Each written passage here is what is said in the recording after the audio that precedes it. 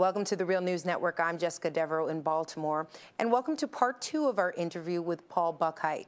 Paul is a college teacher at DePaul University in Chicago. He's a writer for Progressive Publications and the founder and developer of social justice and educational websites like usagainstgreed.org. Thanks for joining us again, Paul.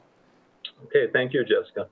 So, Paul, let's just pick up from where we left off and talk about the banking sector.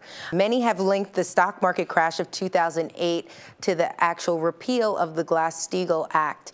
Can you talk a little bit more about the, the effect of deregulating banks and what is the alternative, in your view, of, of that type of system?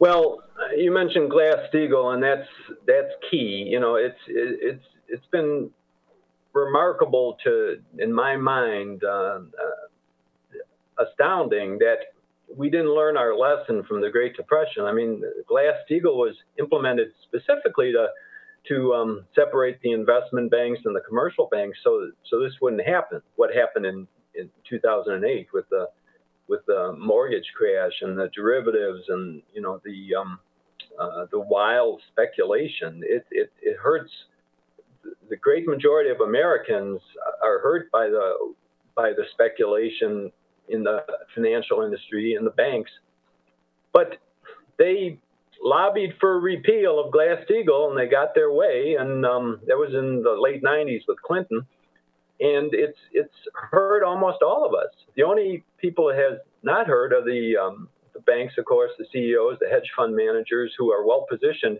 to make literally billions I mean, think of that. You know, what used to be a pretty egalitarian society in the, up until like 1980, it's been getting worse and worse. And now, in the last 10 years or so, we have, as Middle America has gone backwards, losing like 35% of of of um, of its net worth, mainly in its in in homes.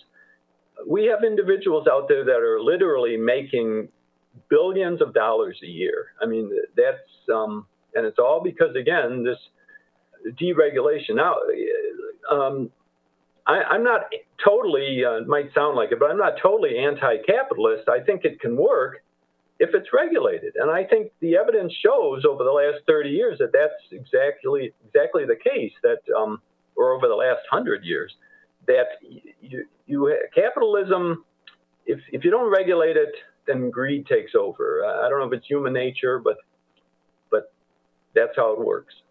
Okay, and let's talk about your next point about prisons and the prison industry that has become increasingly more privatized. How does making a revenue generating business of incarceration affect rehabilitation? Well, again, uh, the, the current studies, the recent studies have shown that private prisons are not well managed. There's the profit incentive there, so so their services are cut cut back. You know, the quality of the food and the and the um, the the the prison conditions themselves, you know, the, the maintenance, the, the guard staff, you know, it, it's cut back as much as possible so that profits can be made. And that's not what prison is supposed to be about rehabilitation, about making getting people prepared for society again. But with a private system, there the incentive is to get more people into prison. Um, Chris Hedges said that, uh, or estimated that private companies make about forty thousand dollars a year on an inmate. So of course they're going to try to fill the prisons and, and get as many as they can. So that ties in, sadly, to the whole um, Michelle Alexander wrote the, about the new Jim Crow. You know how uh, drug arrests and um, and now school to prison pipeline. There are more and more ways to get young people who haven't really done that much wrong, or maybe nothing wrong. You know, they're just in the wrong place at the wrong time, and they're getting stopped and frisked or, or, or accused of crimes, be put put in jail, and um, even if it's just for a short time, you know, there's a lingering effect where some studies, a couple studies I've read have shown that once a kid is put into jail, even once, he or she is more likely to be a repeat offender because the stigma is there. You you've been in jail, you know, and, but it all feeds the profits of the industry. Okay, let's change gears and look at education. Um, we are seeing the continuing push for the school choice or a voucher system, essentially, that would be privatizing a sector that is considered to be a right, um, a public sector, which is education. Can you talk a little bit about, um, are you seeing this push to privatize education just a move by, by capital needing a place to go, really? Is this just a new area to colonize? Well, yes. If there's any one area of, of these eight that that that um, bothers me the most, it's education because the, the idea of taking uh, of trying to um, view our children as products. That's basically what's happening, and and that's just unconscionable. You know that that you can think of a child as um, as a source of income, and and it doesn't even work. I mean, the, the most famous, um, well-known study is is from Stanford, the Credo uh, study, which was done in 2009, and now um, three or four years later, it was updated, and it continues to show that charter schools and private private privatization in general does does not work any better than the public system, and and perhaps even not as well. And again, here in Chicago, it's you know with 50 schools being closed, and the same issue is in Philadelphia and and other um, cities around the country.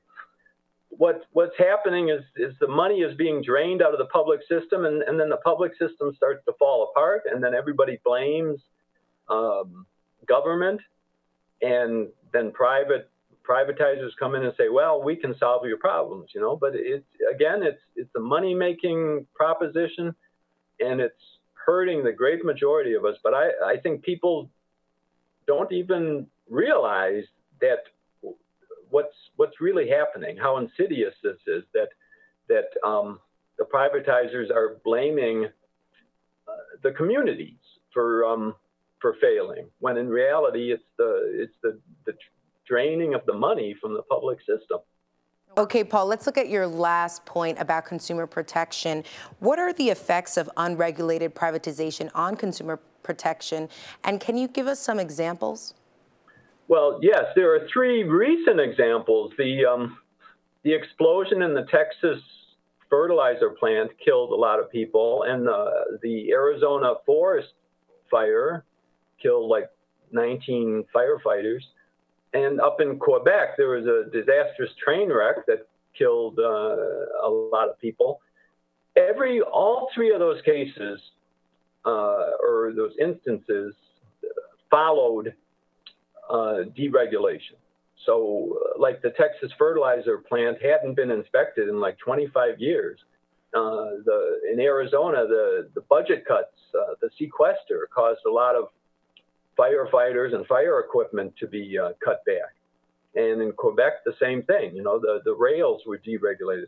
So those are just three examples, but but but there's more. I mean, if if you look at how important the FDA, the the um, uh, the EPA, uh, and FEMA, you know, uh, Hurricane Sandy, how important it is to have these these protection systems uh, through public funding to help all of us instead of just trying to provide profit for a few people and cutting back on everything else. The cutbacks are are damaging our country, and and and it's only the um, the the it's only the, the, the media, the people controlling the, the media with the propaganda that is causing um, uh, people to vote against themselves. Basically, you know, people don't realize that that uh, that this rampant deregulation is and privatization is is is hurting themselves. Thank you so much for walking us through your piece, Eight Ways Privatization Has Failed America. Thank you again for joining us. Thank you, Jessica. And thank you for joining us on the Real News Network.